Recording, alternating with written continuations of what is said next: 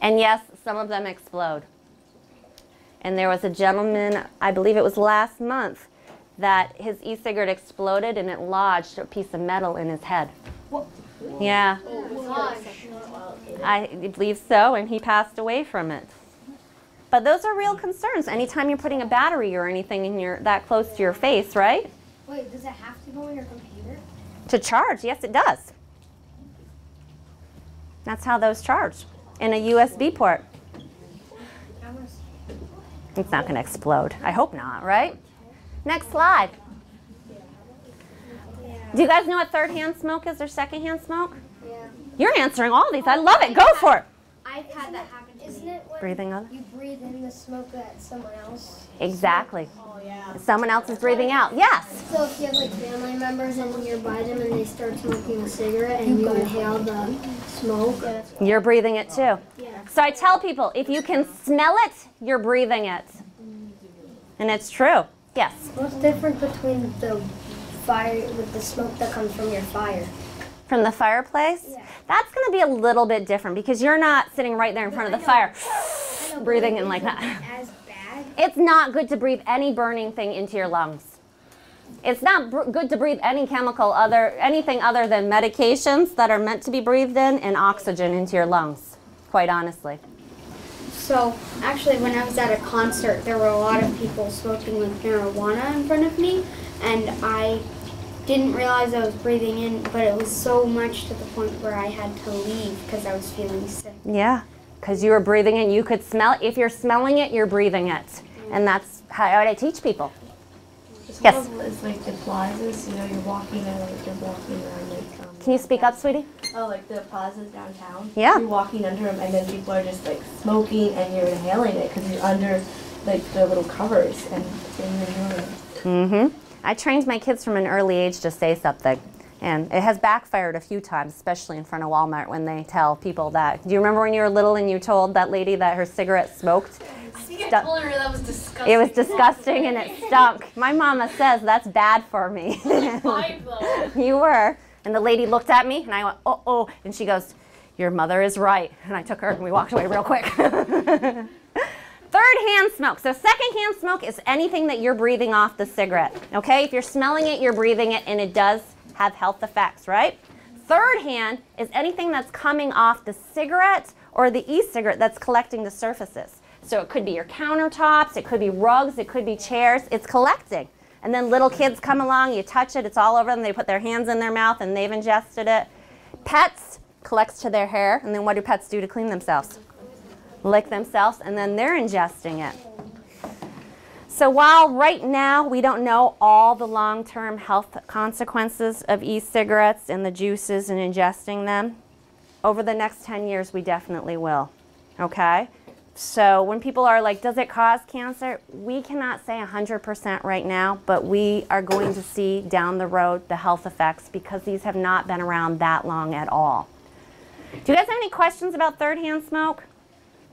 So this is from the Poison Control Center.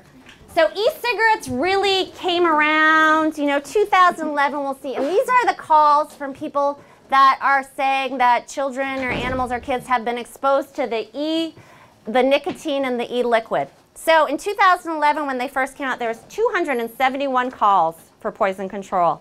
All right? Look at 2014. 4,024. Next year, 2000, 3,774. As we're getting more information out there you can see it start going down. It's starting to go down. But look, from 2011 to 2017, the difference. So that's showing you that kids are getting into it and they are being poisoned.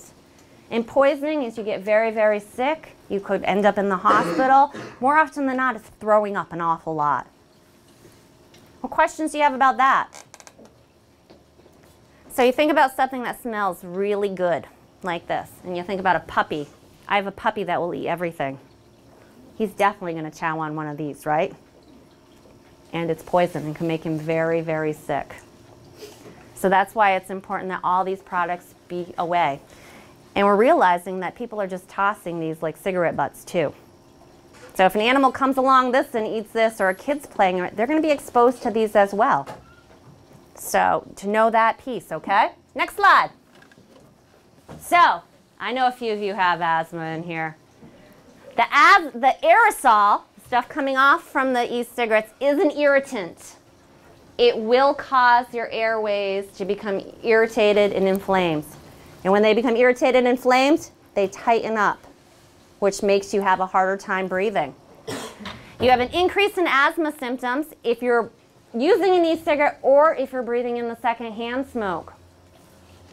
It causes an increase in symptoms such as cough and wheeze. The secondhand vapor was also tied into an increase in asthma attacks, and it can worsen allergy symptoms. So, someone has asthma or, you know, COPD, lung disease, keep them away from cigarettes, but the important thing, or keep them away from e-cigarettes, but the important thing is to communicate this. It's not healthy for them to be breathing. Now you know that, right? Any questions? Oh my, next slide. All right, so sharing. Would you ever take a piece of gum out of your mouth and give it to your friend to chew? No. So the germs that can spread by giving that that people give from taking a puff off another person's Juul or e-cigarette is the same germs you would spread if you were kissing someone. Or you took a piece of gum out of your mouth and put it in someone else's mouth. Pretty gross, huh? And we know germs travel fast, right? We're, we just got over the stomach thing last week, so we know it goes fast. So things that can spread by using the e-cigarettes and passing them to each other. Strep throat. That's no fun. Common flu. Common cold, the flu. Herpes, which are cold sores on your mouth that you have your whole life. Um, mono, meningitis, which is a very serious illness, and the norovirus. And I think that's what my family we had last week. It's no fun. So imagine all the germs that you would spread to someone else by kissing them or taking a piece of gum out of their mouth and chewing on it are the same germs that we can spread if you take a puff off someone else's e-cigarette. Kind of gross, huh? Very gross. Next slide. Lovely picture, huh? So now, our older people that smoke cigarettes, you know, that's kind of phasing out. Who's going to replace them? Well, hopefully not you. but who are they trying to get to your age group? Definitely. I know, that looks cute. Well, cigarette smoking causes people to get wrinkly. They're really 12 years old. No!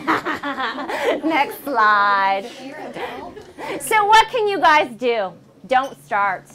You know the facts. Someone offers it to you? No, I'm not interested.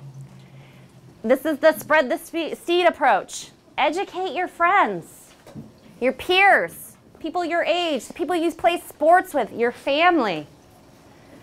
Encourage people that are using them to quit. You know, nicotine has really got a hold on your brain, you know. It's the best time while you're young and before you get too hooked to stop using it. There's people out there that can help you. And get involved. You know, get the word out there. What else can you guys do? I need someone to help me draw some posters that we're going to put up at Spartan. If anyone wants to help me with that one. Huh? Arka's already on the list. Sorry, hon. anyone that's interested in that, um, you wanna? We'll put that together. How's that? That sound good? We can do that, and we can get those posters out. What, hon? I think we can give you a paper, and you guys can work on them and bring them back to me, and I think we can make some copies, right, Sherry? We can get the word out there because guess who your friends are going to listen to? They're going to listen to you guys.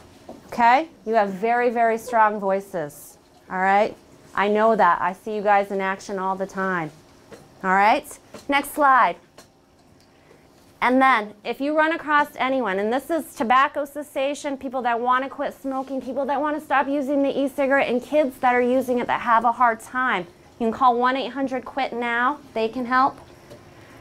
This is my number here at the hospital. If you guys are doing projects or you need information or you just know someone that needs some more help, reach out to me. I've got a lot of information I'm more than happy to share any way possible. Science projects, I'm your lady. I can help you with that. All right? Next slide. And parents, what do we do? Don't use around kids. We have to educate them that using the e-cigarette in the car is as bad as smoking a cigarette, right? Don't use them at all. Keep liquid and nicotine devices out of the sight and reach of children. Don't use in the house or car when other people are around. Because if I'm smelling it, I'm breathing it, right? Yeah, next slide. In schools, out here, let's educate students on the long, long-term consequences of using the e-cigarette. That's what we're doing today. We're trying to get out to other schools too. We want to know that the teachers, they know what they're looking for when they're out there and that they're not plugging in any of these devices to charge for anyone, right? So feel free to check out my devices all you want.